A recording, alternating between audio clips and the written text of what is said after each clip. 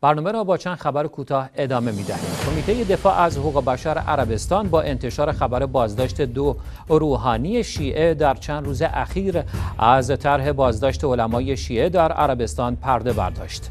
این کمیته افزود مقام های عربستان در چارچوب اقدام های ضد شیعی خود دو روحانی شیعه به نام های سید هاشم الشخص و شیخ محمد العباد را بازداشت کردند که یکی از آنها را بدون هیچ اتهام و توجیه قانونی به سی سال حبس محکوم کردند و از نفر دیگر نیز پس از بازداشت اطلاعی در دست نیست.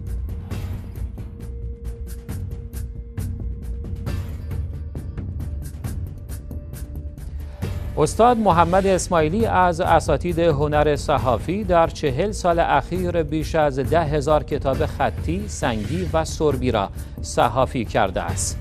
وی اظهاراتی گفت بیش از دوازده سال است که مدال افتخار خادمی در کتابخانه حرم حضرت معصومه سلام الله علیها را نیز بر سینه دارم و تا به امروز بیش از 1600 کتاب خطی را صحافی کردم.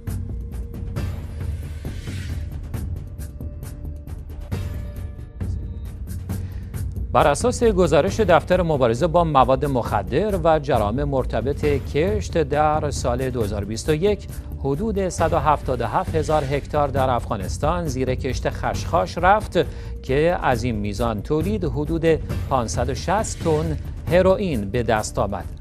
در حالی اقتصاد این کشور در کنار کمک های بین المللی از کشت خشخاش تأمین می شود که با روی کار آمدن سنی های تندروی طالبان کارزار ریشهکن کردن کشت خشخاش آغاز شد اما آمار کشت آن سه برابر افزایش یافته است.